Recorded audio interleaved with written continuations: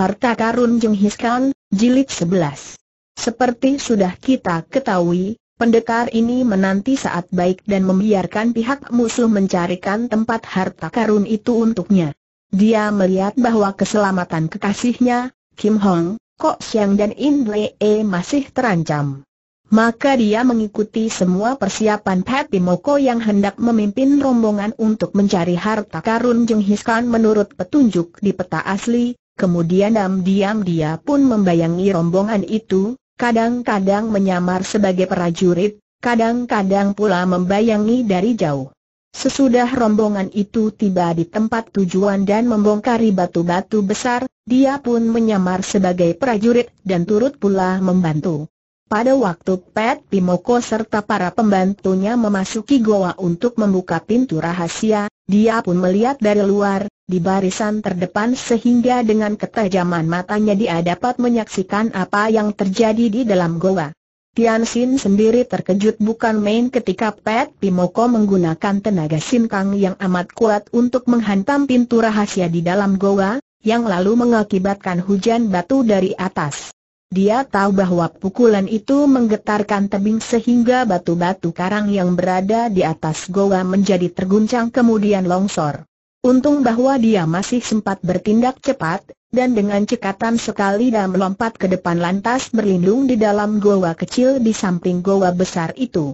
Pada saat hujan batu sudah mereda dan semua orang yang berada di dalam goa besar itu keluar, dia lalu menggunakan kepandaiannya untuk menyelinap masuk. Mula-mula dia menggabungkan diri dengan tenaga Kim Hang untuk mematahkan belenggu dari lengan dan kaki kekasihnya itu. Setelah menciumnya sekali tanpa mengeluarkan kata-kata, Tian Sin dibantu oleh Kim Hang lalu melepaskan belenggu yang merantai tangan dan kaki Kok Siang dan In Wei E. Itulah sebabnya ketika Pet Pimoko kembali ke dalam goa, mereka telah bebas semua dari belenggu mereka. Tian Sin tersenyum memandang kepada musuh yang baru pertama kali ini dihadapinya dan dia berkata, Selamat bertemu, Pat Pimoko. Bagaimana dengan kiriman kunci emas dariku itu? Cukup menyenangkan? Pendekar sadis. Engkau telah menipuku dengan kunci palsu bentak Pet Pimoko yang dengan mudah bisa menduga siapa adanya pemuda tampan dan gagah yang menyamar sebagai seorang prajurit ini. Kuncinya yang asli juga ada, Moko, ada padaku. Akan tetapi tidak akan mudah engkau bisa mendapatkannya dariku sambil berkata demikian, Tian Sin mengeluarkan sebuah kunci emas dari saku bajunya dan mengacungkannya ke atas, memamerkannya kepada datuk jahat itu. Hal ini membuat muka Pet Pimoko menjadi semakin hitam. Pada saat itu, Hai Pacu Ken Hoa, Tia Chiang Lui Chaiko serta Fang Taijin sudah masuk pula ke dalam goa. Mereka pun terheran dan terkejut melihat betapa tiga orang tawanan itu telah bebas dan sekarang memandang kepada pemuda yang berpakaian prajurit, yang tahu-tahu telah muncul di dalam goa itu. Hai Pacu Ken Hoa segera mengenal pemuda itu sebagai pemuda teman Kim Hang yang pernah dijumpainya di dalam rumah makan ketika dia dikalahkan oleh Kok Siang. Akari tetapi Tia Chiang Lui Chai Ko memandang dengan heran.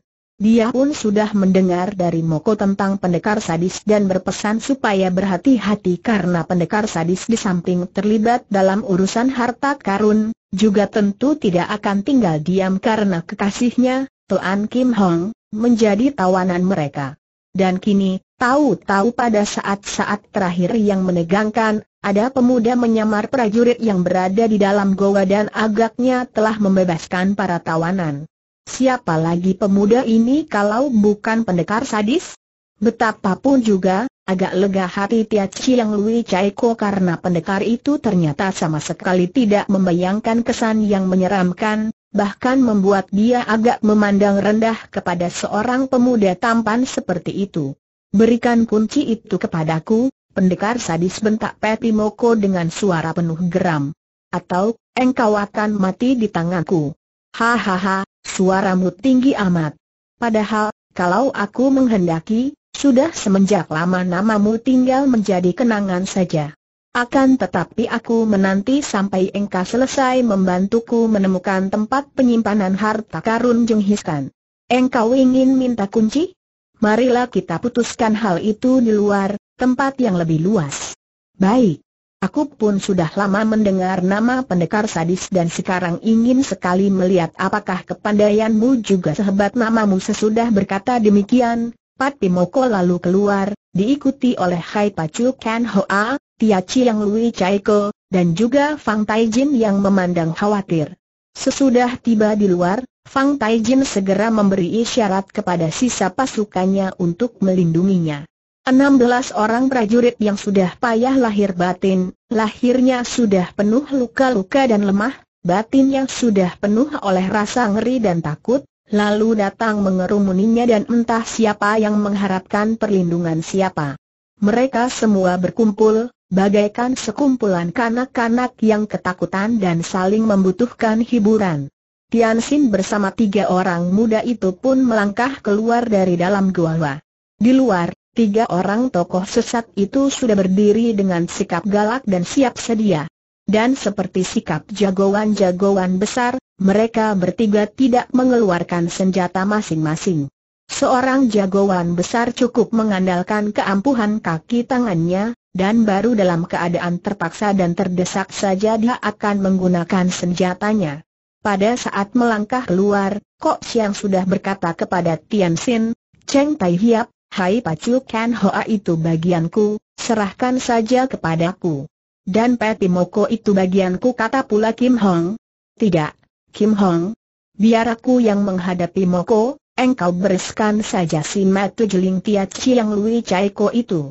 Ahaha, si gendut itu tidak ada harganya untuk dilawan kata Kim Hong. Tian Sim tersenyum. Bagianmu sudah cukup, Kim Hong, Selama ini aku yang banyak menganggur, maka biarlah ku hadapi Moko itu. Tidak adil kalau dalam perkara ini, engkau saja yang banyak mengeluarkan keringat dan aku enak-enakan saja. Kim Hang tersenyum dan mengangguk. Baiklah. Akan tetapi mereka adalah orang-orang jahat semua, patut untuk dibasmi habis. Bagaimana dengan jaksa korup itu tanya Tian Sin. Serahkan saja kepadaku kata Kok Siang yang tersenyum nakal. Dia pun perlu dihajar dengan Caroline. Maka sesudah mereka bertiga sampai di luar, diikuti oleh NWE yang tentu saja hanya menonton karena dia tidak berani menentang pamannya atau gurunya, mereka telah siap siaga dan menghampiri lawan masing-masing yang sudah dipilihnya. Nah, Pat Pimoko. Kita tiga lawan tiga. Adil, bukan? Di tempat sunyi dan para prajurit itu agaknya sudah tidak mampu lagi untuk membantumu mengeroyok kami, kata Dan Sim tersenyum. In Wee yang merasa tidak kebagian pekerjaan itu tiba-tiba saja berkata, kalau mereka berani bergerak, biarlah aku yang akan menghajar mereka. Pat Pimoko yang biasanya sangat pemberani dan tidak pernah mengenal takut itu, kini memandang ke kanan kiri dan mukanya yang hitam itu agak pucat. Penglihatan di sana memang sungguh mengerikan. Para prajurit yang terhimpit batu, ada yang tertimbun dan hanya nampak kakinya, ada yang masih merintih, ada pula yang berkelojotan dan darah di mana-mana. Semua itu merupakan tanda malapetaka hebat di pihaknya. Dan dia tahu bahwa Hai Pacu Ken Hoa pernah kalah oleh Kok Siang dan kini terpaksa harus menghadapinya kembali. Sedangkan Tia Chiang Lui Chaiko juga tak bisa terlampau diharapkan akan dapat mengatasi Toan Kim Hong. Meski dia sendiri tidak takut melawan pendekar sadis, akan tetapi setelah dia mendengar segala kehebatan pendekar sadis di masa lalu, diam-diam dia merasa gentar juga. Pendekar sadis, jika kita saling gempur, tentu satu di antara kita akan tewas sedangkan yang lain besar kemungkinan akan menderita luka-luka pula. Harta karun itu tentu banyak sekali dan tidak akan habis oleh satu pihak saja. Bagaimana kalau aku menawarkan kerja sama sekali lagi dan yang terakhir? Kita bersama temukan harta karun itu dan kita bagi rata. Tian Sim tersenyum sambil bertolak pinggang. Pat Pimoko, kalau kami ini merupakan orang-orang hamba nafsu dan pengejar kekayaan macam kalian, mungkin saja usulmu itu akan kami pertimbangkan. Akan tetapi sayang untukmu, kami adalah orang-orang yang menentang kejahatan dan kalau kami bertanya kepada arwah kakek petani Cianggun dan istrinya, lalu arwah Lou Siu Chai yang terbunuh tanpa dosa, akan nasib Chiang Kim Su yang malang, apa engkau bisa mengharapkan kami sudi bekerja sama dengan kalian? Benar-benarkah engkau tidak mau bekerja sama dengan aku sekali lagi Peti Moko membentak. Sayang sekali. Baru sampai di situ Tian Sin bicara, tiba-tiba lawannya sudah menubruk ke depan dan mengirim serangan dahsyat sekali. Agaknya Pet Pimoko Bong Kim Seng yang sudah maklum akan kehebatan Tian Sin itu ingin merobohkan lawan secepatnya, maka begitu menyerang dia sudah mengerahkan singkangnya yang tadi mampu mengguncangkan goa dan membuat batu-batu terbongkar dan longsor. Tangan kirinya mencengkeram ke arah ubun-ubun kepala dan tangan kanannya menghantam dengan jari tangan terbuka ke arah dada lawan. Dari kedua tangan itu keluar uap putih dan didahului oleh angin pukulan yang mengeluarkan suara bercuitan. Tian Xin tidak berani memandang rendah karena dia sudah tahu akan kelihayan lawan, maka dengan tenang dia pun menggerakkan tubuhnya mengelak dan balas menampar. Memang tamparannya kelihatannya sembarangan dan tidak keras, tetapi membuat kakek tinggi besar itu terkejut karena sebelum tamparan itu tiba, dia telah merasakan sambaran hawa pukulan panas yang luar biasa kuatnya. Kakek ini cepat mengerahkan tenaga pada lengannya kemudian menangkis, sengaja hendak mengadu tenaga dengan pendekar yang masih muda itu. Duk! Dua tenaga raksasa bertemu sehingga batu-batu yang bertebaran di sekeliling tempat itu seperti tergetar. Akibat benturan dua tenaga raksasa melalui dua lengan itu, tubuh Tiansin masih kokoh dan tidak tergoyang sedikit pun juga, akan tetapi Peti Moko terpaksa melangkah ke belakang sampai tiga langkah dan tubuhnya agak menggigil kedinginan. Kedua matanya terbelalak dan dia terkejut setengah mati. Tadi, sambaran hawa pukulan itu terasa panas, akan tetapi setelah beradu lengan, bagaimana ada hawa yang demikian dinginnya menyelinap ke dalam tubuh melalui lengan? Dan kekuatan itu bukan kepalang dahsyatnya dan harus diakuinya bahwa tadi dia telah mengerahkan seluruh tenaga. Akan tetapi, kalau pendekar sadis sama sekali tidak goyah, dia sendiri terdorong sampai tiga langkah. Dari sini saja dapat dia mengerti bahwa dalam hal kekuatan Sintang, dia tak mampu menandingi pendekar yang aneh dan hebat itu. Dia pun lalu mencabut sepasang senjatanya, yaitu sepasang pedang dan begitu dia menggerakkan tubuh dan tangannya, maka nampaklah dua gulungan sinar membungkus dan menyelimuti bayangan tubuhnya dan terdengar suara mengaung-ngaung seperti suara lebah-lebah mengamuk. Itulah ilmu pedang pasangan Pek Hang Siang Kiam, sepasang pedang seratus lebah, yang menjadi ilmu andalan Peti Moko Bong Kim Seng.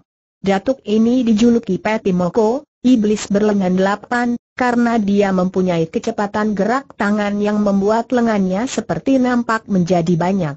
Akan tetapi menghadapi pendekar sadis, dia tak berani hanya mengandalkan kedua lengannya dan sekarang mengandalkan sepasang pedangnya yang memang hebat itu. Akan tetapi, sudah lama Tian Xin seperti telah melupakan senjata di luar kaki tangannya sendiri. Meskipun dia maklum bahwa lawan ini merupakan lawan yang berat, tidak kalah berat dibandingkan dengan para datuk yang pernah dilawannya, namun dia tidak merasa khawatir dan mengandalkan ginkangnya untuk menghadapi amukan sepasang pedang itu. Tubuhnya berkelebatan dan kadang-kadang bagaikan kapas ringannya sehingga sebelum pedang menyambar, tubuhnya seperti telah terdorong oleh angin pedang sehingga dapat menghindar dengan cepatnya, Lantas kedua kaki tangannya tidak tinggal diam dan segera membalas dengan serangan-serangan yang tidak kalah ampuhnya dibandingkan dengan serangan sepasang pedang lawan. Hai Pacu Ken Hoa sudah pernah dikalahkan oleh Kok Siang. Kini, menghadapi pemuda itu, dadanya penuh dengan nafsu membalas dendam atas kekalahannya. Dia tak merasa gentar karena kini dia sudah memegang sebatang golok gergaji yang kelihatannya sangat mengerikan. Ken Hoa maklum akan kelihayan lawan, maka walaupun tadi dia bertangan kosong, sekarang melihat Kok Siang sudah menghadapinya, dia pun tidak ragu-ragu lagi mencabut goloknya. Bukan saja golok besar ini yang membuat hatinya tabah, akan tetapi dia pun tahu bahwa pemuda ini sudah mengalami siksaan dan dibelenggu selama beberapa hari, kurang tidur dan kurang makan. Hal ini tentu melemahkan pemuda sastrawan ini. Selain itu, pemuda ini telah kehilangan senjatanya yang diandalkan, yaitu siang keanpit dari emas dan perak itu. Senjatanya itu terjatuh saat pemuda ini terjebak ke dalam air dan seperti juga senjata milik Kim Hong, siang keanpit itu sudah dirampas dan tidak pernah dikembalikan kepada pemuda ini. Maka, jika dibandingkan dengan pertemuannya pertama, Kini pihaknya lebih banyak memperoleh keuntungan dan dia merasa yakin bahwa sekali ini dia akan menang dan akan dapat membalas kekalahannya tempo hari. Kutu buku, bersiaplah untuk mampus. Darahmu akan diminum oleh goloku ini berkata demikian, Hai Pacu Ken Hoa sudah menerjang ke depan sambil memutar goloknya dan menyerang kalang kabut. Tiba-tiba saja nampak sinar emas dan perak berkelebat, bersilang dan menangkis golok itu dengan gerakan menggunting dari kanan kiri. Kring. Hai Pacu Ken Hoa terkejut setengah mati ketika merasa betapa goloknya tergetar hebat dan cepat dia mencabut golok itu dari jepitan sepasang siang keampit emas dan perak. Eh teriaknya kaget dan heran ketika melihat betapa pemuda itu sudah memegang sepasang senjatanya. Tentu saja dia tidak tahu bahwa senjata itu, juga sepasang pedang hitam milik Kim Hong, sudah diambil oleh Tian Xin dari tempat penyimpanan senjata di gudang dekat tahanan. Ketika pemuda itu membayangi rombongan, kedua macam senjata itu dibawanya dan tadi di dalam goa, dia telah mengembalikan senjata itu kepada pemiliknya masing-masing. Kok siang tersenyum mengejek. Hai Pacu Ken Hoa, arwah pamanku Lau Siu Chai telah menanti di sana untuk membuat perhitungan denganmu. Hai Pacu Ken Hoa mengeluarkan bentakan nyaring, dan dia pun sudah menyerang lagi, goloknya menyambar-nyambar dengan ganasnya, namun di balik keganasan sikapnya ini, tersembunyi rasa gentar yang amat hebat, membuat mukanya pucat dan kedua matanya terbelalak. Di lain pihak, Kok Siang bergerak dengan cekatan dan tenang, merasa yakin bahwa akhirnya dia pasti akan mampu mengalahkan penjahat yang hanya besar gertak dan kekasarannya ini.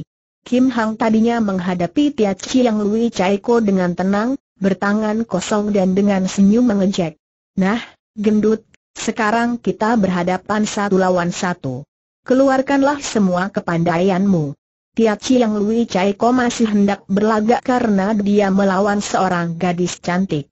Dia masih merasa malu apabila harus mengeluarkan senjata, maka dia pun tertawa dan berkata, Nona yang manis, kalau sekali ini aku dapat meringkusmu, maka engkau akan kutelanjangi dan kuperkosa di sini juga. Sebelum kata-katanya habis, dia telah menubruk ke depan, Tangan kirinya menyambar ke arah dada adapun tangan kanan menyusul kaki kanan yang menendang, mencengkeram ke arah pundak. Serangan yang sangat hebat dan sekaligus sudah menggunakan kedua tangan dan sebelah kaki. Akan tetapi, Kim Hang yang mempunyai tingkat kepandaian jauh lebih tinggi itu, dengan mudahnya berloncatan mengelak lantas ketika tubuhnya turun, kakinya mencuat dengan gerakan kilat yang sama sekali tidak dapat diikuti oleh pandang mata lawan. Muut, plak, dan sepatunya yang kecil dan terkena lumpur itu telah mengenai dagu lawan, membuat tubuh Tia yang Lui Chaiko terjengkang dan bahkan nyaris jatuh terbanting kalau saja dia tidak cepat menggulingkan tubuhnya. Setelah bergulingan, dia meloncat bangun kembali. Wajahnya merah, matanya berapi-api dan mulutnya menyeringai, seperti orang tertawa. Dia merasa malu dan marah bukan main. Dalam satu gebrakan saja dia telah dirobohkan lawan. Sekarang dia pun tahu bahwa gadis ini sama sekali tidak boleh dipandang ringan. Sebagai seorang ahli silat tinggi, dia mengerti bahwa Kim Hang ini adalah seorang yang memiliki ginkang luar biasa hebatnya, membuat gerakannya cepat sekali, tak dapat diikuti dengan pandang mata, maka tentu merupakan lawan yang berbahaya sekali, walaupun agaknya tenaga wanita ini tidak begitu besar dan tendangannya tadi pun tidak begitu kuat. Benar-benar pendapat yang didasari kesombongan kosong belaka sehingga membuat dia kurang waspada. Dia tidak melihat bahwa jika Kim Hang menghendaki, sekali tendangan tadi saja sudah akan dapat meremukan tulang gerahamnya. gadis itu memang sengaja hendak mempermainkan, maka belum menurunkan tenaga dalamnya. Wuut! Wuut! Tiap Chiang Lui Chai Ko menggunakan kedua tangan meraba pinggangnya dan ternyata kini tangan kirinya telah memegang sebatang pisau yang panjangnya sekitar 30 cm, ujungnya berkarat dan berwarna kehijauan, tanda bahwa pisau itu direndam dalam cairan beracun. Dan tangan kanannya memegang sebatang sabuk atau cambuk baja yang pada ujungnya dipasang kaitan seperti matu kail. Sungguh senjata-senjata yang sangat berbahaya dan hebat, pikir Kim Hong. Akan tetapi karena ia sudah dapat mengukur sampai di mana kepandaian lawan, ia pun tidak merasa perlu untuk mengeluarkan sepasang pedangnya melainkan hanya menanti dengan sikap tenang, dengan kedua kaki ditekuk di bagian lutut dan kedua lengan tergantung lepas di kanan kiri, akan tetapi biarpun nampaknya santai saja, Sebenarnya seluruh aurat syaraf di tubuhnya telah siap siaga dan tubuh itu telah dipenuhi dengan tenaga sinkang yang tinggi dan kuat. Hai hik, itu senjatamu. Pisau penyembelih babi cocok dengan perutmu yang gendut, dan matamu menjadi juling itu tentu karena terlampau sering memutar cambuk itu. Hati-hati, jangan-jangan kaitan cambukmu akan mengenai matamu sendiri, Lalu dari jeling menjadi buta Kim Hang mengejek tanpa mempedulikan serangan lawan yang sudah menyambar sebelum kata-katanya habis itu. Dengan hanya sedikit menggerakkan leher, mukanya ditarik ke belakang maka sambaran pisau pada lehernya itu lewat beberapa senti di depan lehernya.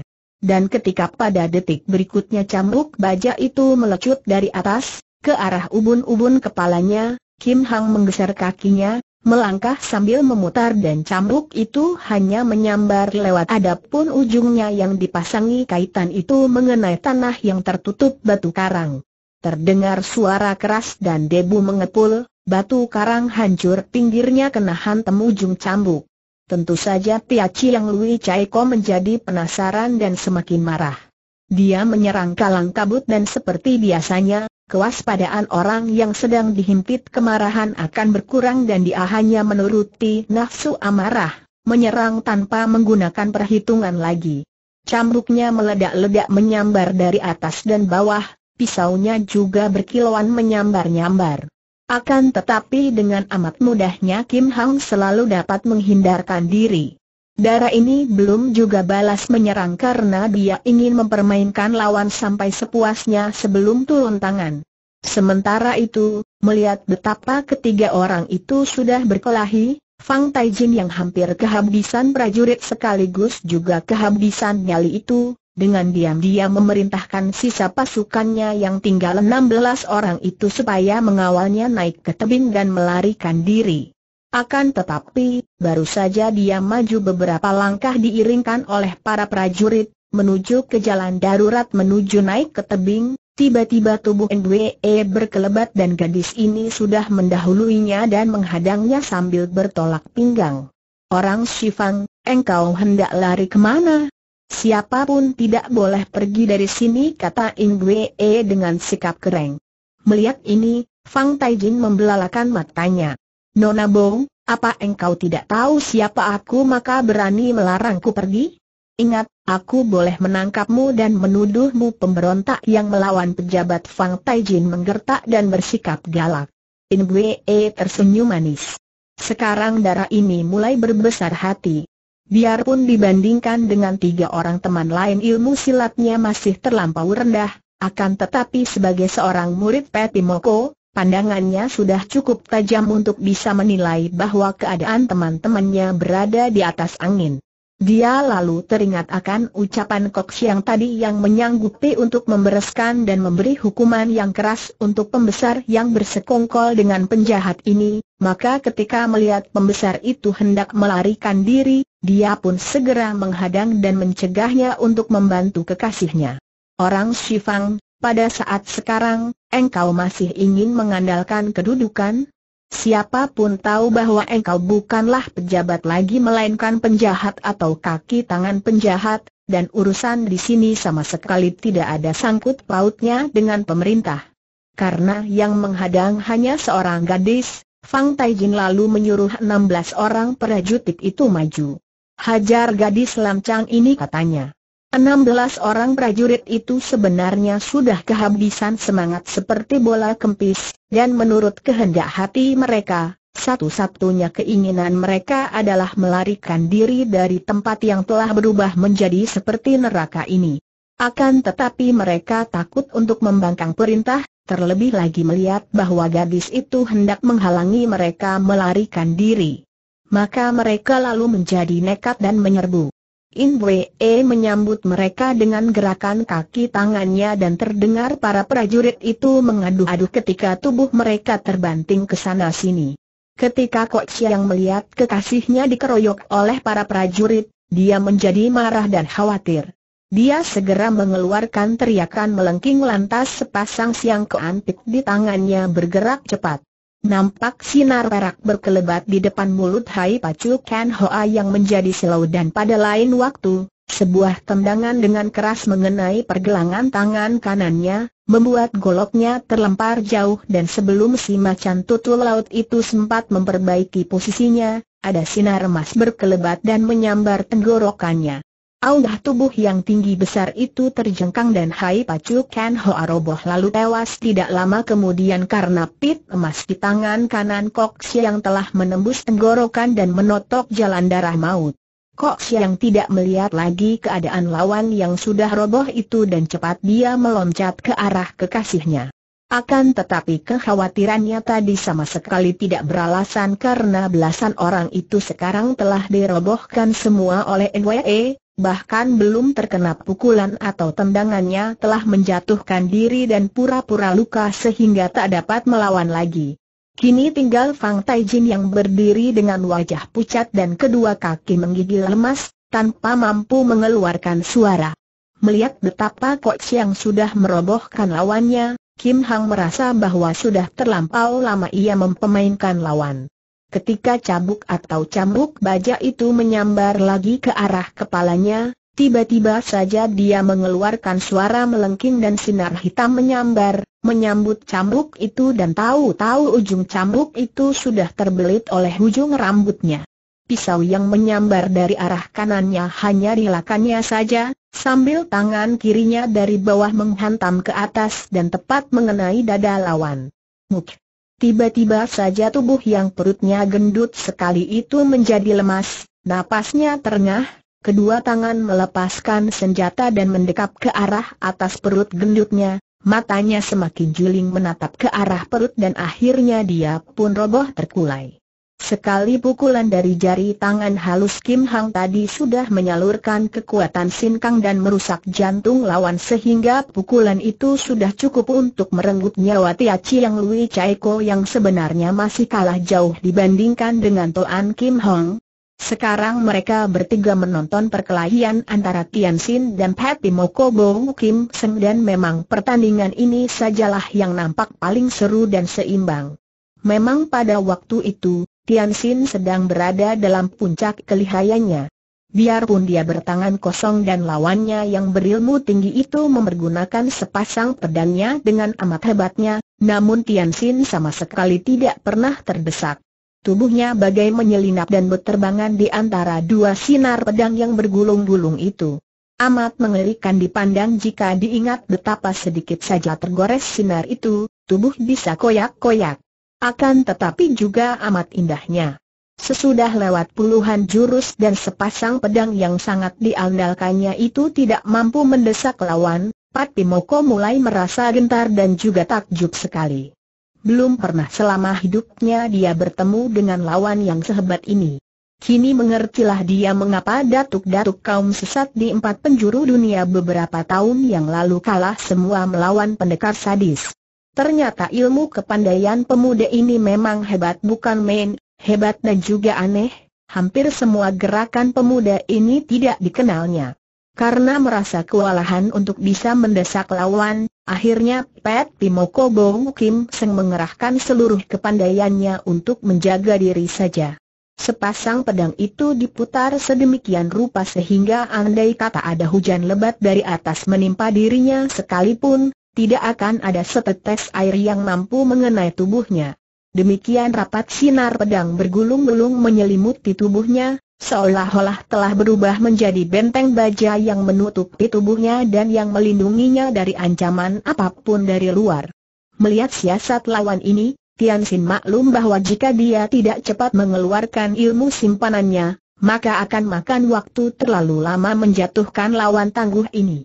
Dia lalu diam-diam mengerahkan tenaganya, dan pada saat lawan mundur, dia merendahkan dirinya dan mendadak dari mulutnya keluar suara melengking nyaring yang menggetarkan jantung lawan, disusul dengan tubuhnya yang tadi merendah itu kini tiba-tiba meluncur ke depan dengan kecepatan kilat dan dengan kekuatan dahsyat sekali. Pat Pimoko Kim Seng terkejut ketika merasa ada angin hebat melanda dirinya. Dia berusaha untuk secepatnya menggerakkan sepasang pedangnya menyambut ke depan, ke arah bayangan lawan yang meluncur itu. Bres! Terjadinya benturan itu sukar diikuti dengan pandangan mata, akan tetapi tahu-tahu tubuh Pet Pimoko Bong Kim Seng yang tinggi besar itu terpelanting dan terjengkang kemudian terguling-guling, menabrak batu karang besar dan berhenti tidak bergerak lagi. Sebatang pedang, pedangnya sendiri, menembus lehernya sampai ke tengkuk, adapun pedang kedua masih terkepal di tangan kiri. Kiranya dalam benturan tadi, saking hebatnya daya serang Tian Sin, pedang kanan itu membalik lalu menembus leher sendiri. Maka tewaslah Pet Pimoko Bong Kim Seng dan habislah sudah komplotan jahat yang berlindung di balik kedudukan Jaksa Fang di kota raja itu. Kota raja lantas jeger ketika pada suatu pagi, Tubuh Jaksa Fang tergantung tinggi-tinggi di depan kantornya dengan kaki tangan terikat dan ikatan tangannya itu digantungkan di atas wulungan bagian depan sehingga nampak dari jalan. Hal ini segera menarik banyak perhatian, apalagi karena ada sehelai kain putih lebar yang tergantung dan tubuh Jaksa Fang itu penuh dengan tulisan yang rapi dan indah. Ketika orang-orang menolongnya dan membaca tulisan itu, keadaan menjadi makin gegar dan berita itu segera menjalar luas di kota raja. Isi tulisan itu membuka rahasia jaksa itu tentang perbuatan-perbuatannya yang korup dan jahat, tentang persekutuannya dengan penjahat-penjahat dan betapa kantor kejaksaan dijadikan tempat persembunyian penjahat besar Pet Bimoko. Berita ini sampai ke dalam istana sehingga kaisar sendiri menjadi marah dan malu, lalu memerintahkan untuk menangkap jaksa Fang itu, dipecat dan dijatuhi hukuman berat. Mudah kita duga bahwa yang melakukan perbuatan itu tentulah Bu Kok Siang orangnya. Sesudah Tian Xin muncul lantas membebaskan dia, Kim Hang dan In Wei, kemudian mereka berhasil membasmi para datuk sesat berikut anak-anak buahnya, maka Tian Xin lalu mengajak mereka bertiga, sambil membawa Fang Taijin sebagai tawanan, pergi ke goa di mana terdapat pintu tadi. Kok siang menotok roboh jaksa itu dan melemparnya ke sudut, kemudian Tian Xin mengeluarkan kunci emas yang asli dari sakunya dan ternyata kunci itu tepat sekali memasuki lubang kunci dari emas di tengah-tengah daun pintu baja. Tian Xin memasukkan kuncinya kemudian memutar-mutar. Tiba-tiba terdengar suara keras hingga semua orang menjadi kaget dan berhati-hati, takut kalau-kalau terjadi longsor batu-batu karang lagi seperti tadi. Akan tetapi sesudah suara keras itu berhenti, ternyata lantai di sebelah kanan daun pintu itu amblong dan berlubang. Kiranya kunci itu hanya menggerakkan alat rahasia yang sudah dipasang di situ di mana terdapat batu besar yang digerakkan oleh alat baja bergeser dan menurun. Di balik batu besar itu terdapat lubang dan inilah tempat rahasia penyimpanan harta karun. Bukan di belakang daun pintu, karena belakang pintu itu tidak ada apa-apanya, hanya ada dinding tebing batu karang. Sesudah rasa kagetnya hilang, Feng Xin lalu memeriksa lubang dan di sini mereka menemukan empat buah peti kuno berukir. Ah, inilah harta karun itu Tian Xin berseru. Empat orang itu merasa girang bukan main, seperti sekumpulan anak-anak yang berhasil menemukan sesuatu yang menarik. Mereka lalu mengeluarkan empat buah peti kuno itu dan sesudah empat buah peti itu dibuka, ternyata berisi emas dan permata intan berlian ratna mutu manikam, logam mulia dan batu mulia berkilau-kilauan menyilaukan mata.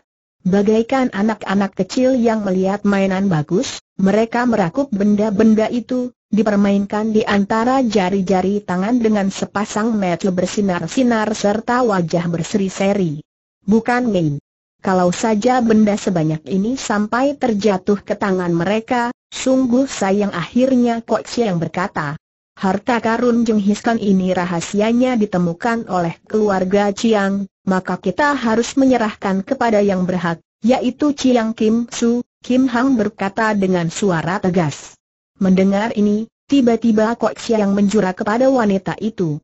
Nona Toan, sungguh bijaksana sekali ucapan itu dan aku merasa takluk.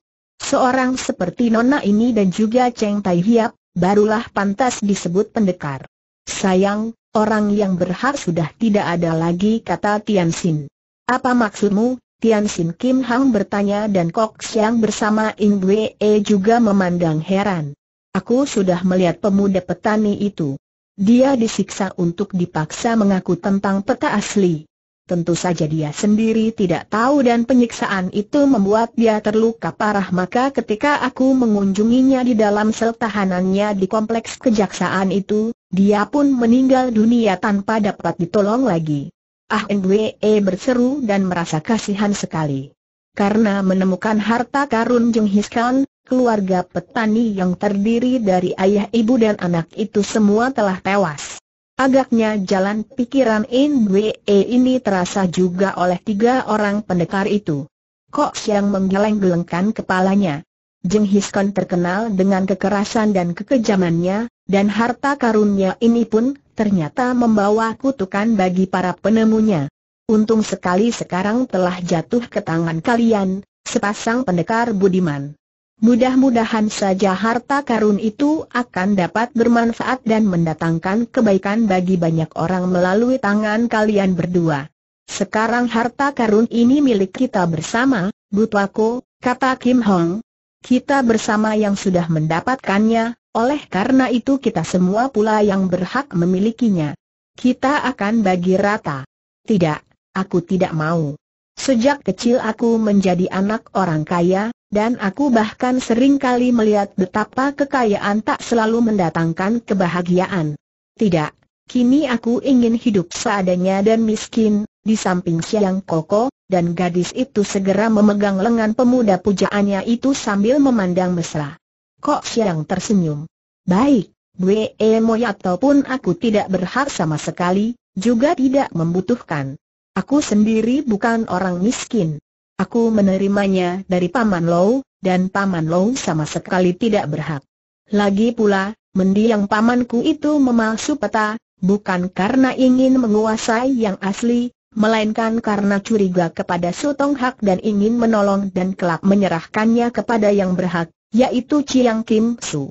Maka, sesudah sekarang jatuh ke tangan kalian yang memang berjasa dan hanya karena adanya kalian maka harta ini dapat ditemukan, maka hanya kalian berdualah yang berhak memilikinya, Cheng Tai Hiap dan Nona Toan. Tian Sin menghela napas kemudian memandang kagum pada Kok Siang dan In Wei E. Ahaha, dalam dunia ini sungguh jarang dapat ditemukan orang-orang seperti kalian berdua. Biasanya, di mana terdapat harta, tentu terjadi perebutan. Untuk memiliki harta, manusia tak segan melakukan segala macam kejahatan dan kekejaman. Akan tetapi kalian malah menolaknya. Kami sendiri juga tidak membutuhkan harta. Akan tetapi karena harta karun ini telah terjatuh ke tangan kita, sudah seharusnya kalau kita pergunakan untuk kebaikan. Memerangi kejahatan bukan merupakan suatu hal yang mudah dan ringan, juga kadang-kadang membutuhkan banyak biaya. Oleh karena itu, harta karun Jeng Hiskon yang aku yakin tentu sudah bergelimang darah ini, yang sekarang saja sudah membunuh puluhan orang di luar goa, akan dapat kita pakai untuk menebus dosa-dosanya, untuk bermanfaat bagi banyak orang dan untuk biaya memerangi kejahatan. Engkau pun berhak mendapat bagianmu, Bu Tsai. Akan tetapi Kok Siang menggeleng kepalanya sambil tersenyum lalu merangkul leher Indwe yang memegang lengannya. Tidak, Tai Hiap. Dalam peristiwa perebutan harta karun Jeng Hiskan ini, aku telah memperoleh bagianku sendiri, telah memperoleh harta karun yang tiada keduanya di dunia ini, yang jauh lebih berharga daripada semua harta dalam empat peti itu, yaitu Ble Amoy. Tian Sin dan Kim Hang tersenyum saling pandang, sedangkan Nen Ble menjadi merah mukanya dan tersenyum bangga dan bahagia. Pendekar sadis dan kekasihnya tidak mau memaksa lagi dan mereka pun lalu meninggalkan tempat itu, membawa empat peti harta karun dan juga membawa Fang Taijin sebagai tawanan. Mereka menggunakan kereta yang tertinggal di atas tebing dan pada malam itu juga, Kok Siang membereskan Fang Taijin, menulis surat pembeberan rahasia busuk pembesar itu dan menggantungkan pembesar korup serta suratnya ke hubungan depan rumah gedung pembesar itu. Ketika Kok Chiang melakukan hal ini, dia ditemani oleh NWE, Tianxin dan Kim Hong. Akan tetapi pendekar sadis beserta kekasihnya tidak mau mengganggu dan membiarkan saja sastrawan perkasa itu bisa memuaskan hatinya dengan melakukan hukuman itu sendiri. Sesudah selesai melakukan tugas terakhir dalam urusan harta karun Jenghiskan itu, mereka berkumpul di tempat sunyi di luar kota raja, di mana telah menanti sebuah kereta yang akan membawa pendekar sadis bersama kekasihnya meninggalkan kota raja pada malam hari itu juga. Empat buah peti harta karun itu sudah disusun rapi di dalam kereta, ditutupi dan tidak nampak dari luar. Dua pasang orang muda itu kini saling berhadapan di bawah sinar bulan purnama. Cuaca dan pemandangan indah sekali, mendatangkan rasa kegembiraan luar biasa walaupun ada sedikit rasa haru karena mereka hendak saling berpisahan. Kami harap saja kalian akan dapat menjadi pasangan yang baik dan berbahagia, kata Kim Hang sambil memeluk Indwe E dan gadis hartawan ini mengusap air matanya karena selama beberapa hari menjadi kenalan Kim Hang dia merasa sangat kagum dan sayang kepada pendekar wanita itu. Mudah-mudahan saja kami akan dapat menjadi pasangan berbahagia seperti Jiwi, kata In Wei. Bagaimana rencanamu selanjutnya dengan Nona Bong? Bu Su Chai Tianxin bertanya. Kami akan minta persetujuan dari orang tua Bwe Mue secara terang-terangan. Dan kami sudah bersepakat bahwa andai kata orang tuanya tidak menyetujui, maka kami berdua akan pergi begitu saja. Kim Hang dan Tian Xin tertawa. Aih, Mudah-mudahan tidak. Kami kira, orang tua adik Bue akan cukup bijaksana untuk dapat melihat bahwa mereka sudah memiliki seorang calon mantu yang hebat kata Kim Hong. Dan bagaimana dengan Jiwi, kalian berdua tanya Bu Kok Siang. Kami akan pulang dan beristirahat, jawab Tian Sin. Di mana, ahaha, Jiwi sudah menjelaskan bahwa Jiwi tak akan memberitahukan tempat tinggal Jiwi kepada siapa pun juga. Biarlah, kami hanya berdoa semoga kelak kita masih akan dapat saling bertemu pula, kata Kok Siang. Setelah bersalaman kemudian saling memberi hormat. Akhirnya Tian Sin dan Kim Hang memasuki kereta dan Tian Sin melarikan kuda-kuda penarik kereta, diikuti oleh pandang macu Kok Siang dan In Wei, sampai kereta itu lenyap di telan kegelapan di sudut sana. Mereka merasa terharu dan kehilangan, akan tetapi ketika mereka teringat bahwa mereka kini bersama, lenyaplah rasa kehilangan itu maka sambil bergandeng tangan mereka pun pulang kembali ke kamar mereka di rumah penginapan di mana mereka menyewa dua buah kamar untuk mereka. Dan dapat dibayangkan betapa terkejut hati mereka ketika melihat bahwa di kamar koksya yang terdapat sebuah di antara empat peti harta karun itu, dengan isi yang masih penuh dan utuh dan di atas peti itu terdapat tulisan. Semoga kalian berbahagia.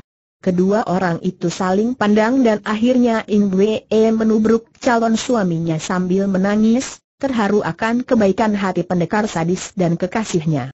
Sementara itu, pada keesokan harinya, pagi-pagi sekali, dua sosok tubuh berada di dalam sebuah perahu layar, dan perahu itu dengan perlahan meninggalkan pantai menuju ke laut bebas. Sebuah perahu layar yang berukuran sedang saja, tidak ada anak perahunya kecuali mereka berdua. Di atas dek perahu terdapat tiga buah peti kuno berukir indah. Mereka itu adalah Tian Sin dan Kim Hang yang sedang berlayar menuju pulang, ke tempat tinggal mereka yaitu di Pulau Teratai Merah, membawa hasil petualangan mereka, yaitu tiga peti berisikan harta karun jenghiskan. TAMAT